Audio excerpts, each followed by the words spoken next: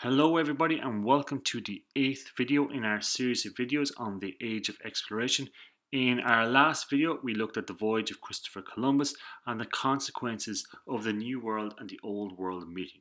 So today we are going to look at another great explorer, Ferdinand Magellan. So your learning outcomes for this video, by the end you should know the names of at least three of Magellan's ships. Secondly, you should be able to recount the voyage of Magellan that is uh, pointing out to the key places where he stopped on his journey, and you should also know what the phrase circumnavigation means. So, Ferdinand Magellan was born in 1480. He was born in Portugal, and he went on many expeditions uh, throughout the expanding Portuguese empire, uh, including the Indian Ocean Trade Network, which we've talked about. Uh, however, he fell out with the King of Portugal, and he offered his services to this man, the King of Spain, Charles V.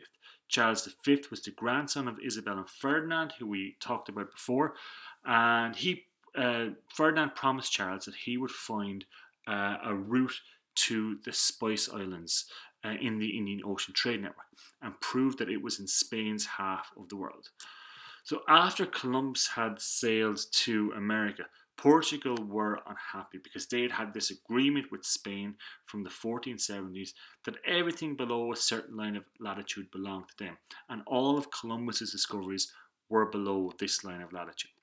So, to prevent a war between Spain and Portugal, the Pope, Pope Alexander VI, at the time persuaded Spain and Portugal to sign a treaty called the Treaty of Tordesillas. And this treaty stated that everything 370 leagues west of the Cape Verde Islands belonged to Spain. So everything beyond this black line that you guys can see on uh, the map belonged to Spain. Magellan believed he could sail around the bottom of South America and find a passage to this area here, the Spice Islands, proving that they actually belonged in Spain's realm of authority. So, in September 1519, Ferdinand Magellan set sail with five ships from Sevilla, a port in Spain.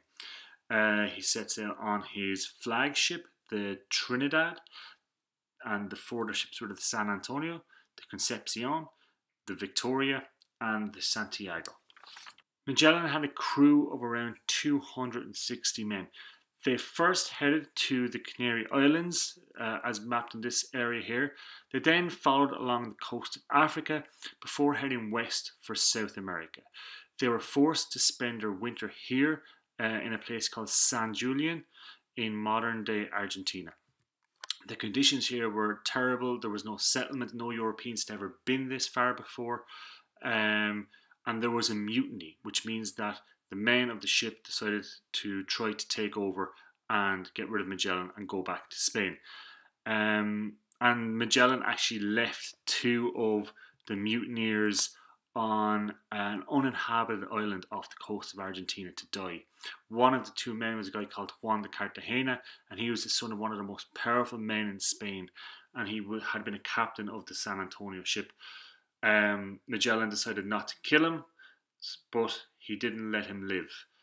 Um, Magellan then sent a ship, the Santiago, 60 miles down the coast to look for an opening uh, around the tip of South America, but the ship ran aground.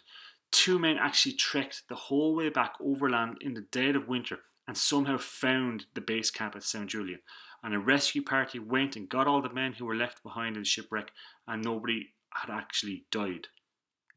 Eventually, Magellan reached the tip of South America and he sailed through this area here, as you can see with the red dots.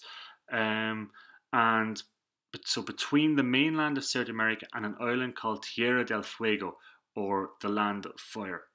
While they were exploring this strait, the San Antonio, another ship, deserted and returned to Spain.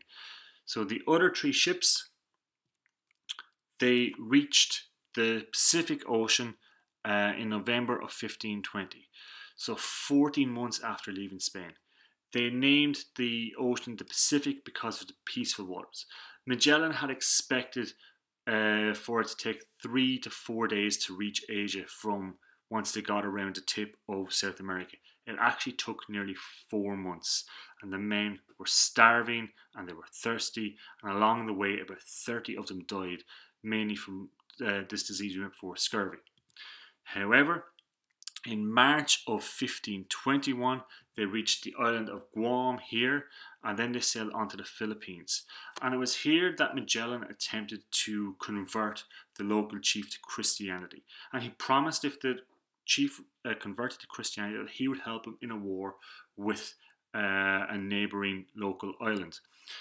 Magellan was killed in fighting in April 1521. He was he was replaced as captain by a man called Sebastian del Cano, uh, who took control of the expedition after Magellan's death. Uh, they didn't have enough men to sail the three ships, so they sank the Concepcion in May of 1521 in the Philippines. By December, uh, they had reached the Molucca Islands, but the Trinidad, which had been Magellan's uh, flagship, was too damaged to keep sailing. So all the remaining sailors stayed on the Victoria. And finally, in September of 1522, three years after they set sail from Spain in an attempt to find a passage beneath South America, del Cano and 18 men arrived back in Spain on the single ship that survived the Victoria. They returned with a ship full of spices. These men were the first people to successfully circumnavigate or sail around the world. So when we talk about circumnavigation, we are talking about sailing around the world. And the Victoria was the first ever ship to circumnavigate the world. So that brings us to the end of our presentation. So you guys should know three of Magellan's ships, the Trinidad, the Victoria, the Concepcion, the Santiago and the San Antonio, any of them are okay. You should be able to recount the voyage of Magellan, so you should know that he went to the Canary Islands, went down the west coast of Africa, he landed in Brazil first of all, then landed down in Port Julian, uh, went through the Straits of Magellan, as they're called now, between Tierra del Fuego and the south of South America, that they went up to Guam, that he died in the Philippines, and that they eventually arrived back in Spain. Finally, you should know what circumnavigation means, so that means to sail around the world. Thanks for watching, hope you got something useful from this video.